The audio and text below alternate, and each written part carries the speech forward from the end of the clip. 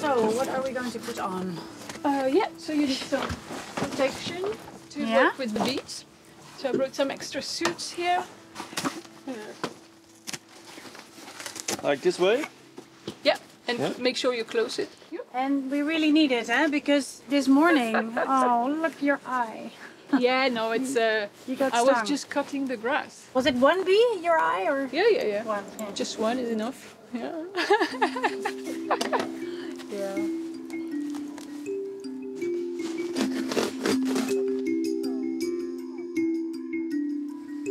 Where are they? Inside the woods? So I have um,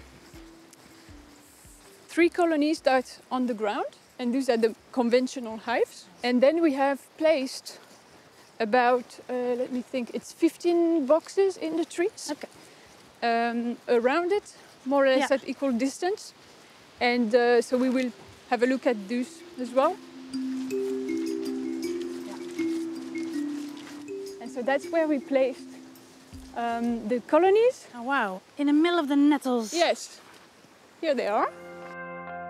Op een beschut veldje, omringd door bomen, in de stille kern, wordt sinds 2019 onderzoek gedaan naar wilde honingbijen. Wow. So that's that's a very small colony. Yeah? Yeah. What kind of bees are these? So these are um, the western honeybee, Apis mellifera in Latin, Yeah? and they are native to Europe, uh, the Middle East, Africa. So normally in the wild they would uh, live in trees.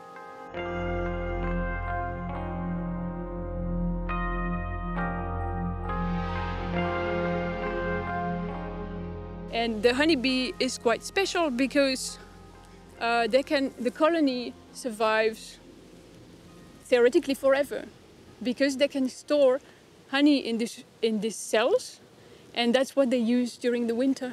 Yeah. so that's how they can survive. That's how they can keep warm. The honey is actually used up during the winter to keep warm. You see in this frame? Yeah? there is honey. That's what it, it's quite shiny.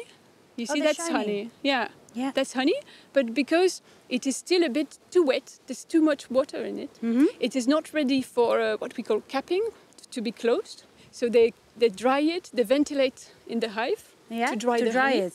Okay. and when it's ready they cap it like that they put wax on it And this is now it's closed. yeah and this is ready This is like the storage for Yeah, winter. yeah exactly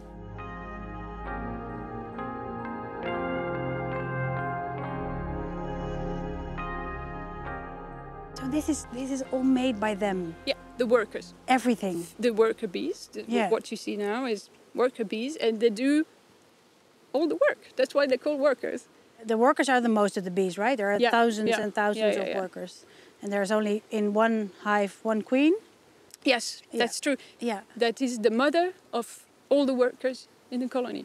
So they're all sisters, right? yeah. yeah. That's They're all half sisters, actually, most of them, yeah. because the queen has mated with several um, Men. males. Yeah. So tell me about why you put all these hives here. So we what put are you doing? Um, the the idea of this project is is actually a rewilding project. Tamme honingbijen in Nederland hebben veel last van de varroa-mijt. Een parasiet die zich voortplant op het broed van honingbijen. Wilde honingbijen hebben hier minder last van, maar die zie je bijna niet meer.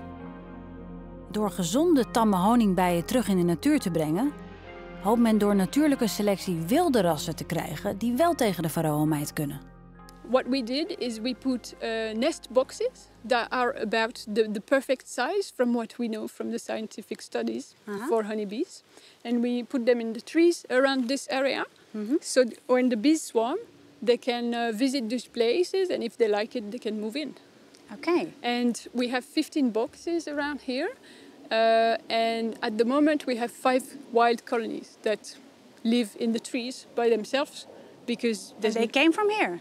yeah, well, we don't Yeah. know actually, Yeah, oh, yeah, and that's know. what the study is about. Ah, okay. Yeah, but if they can survive by themselves in the boxes with no help of humans, well, they, they should be resistant. Otherwise, they die.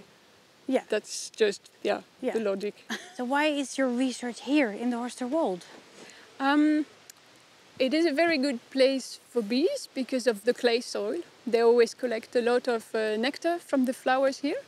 But also, it's uh, we needed a place where it's a bit isolated, where there's not beekeepers around, because it's it's better to not interfere too much for, for a good scientific study. So that's why this was a very good candidate.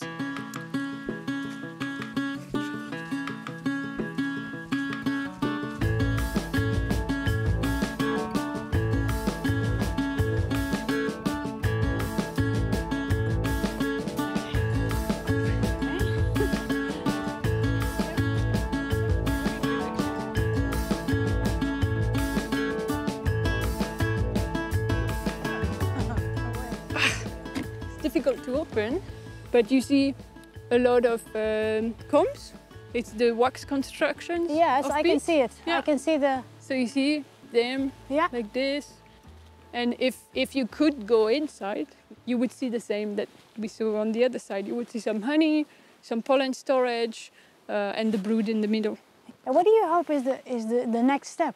The perfect situation would be when these are all occupied and they can start spreading more, and then that could be the, the start of a new wild population Yeah. that yeah that is believed to not exist anymore because of Varroa. So that would be very nice. That would be a very uh, very big success.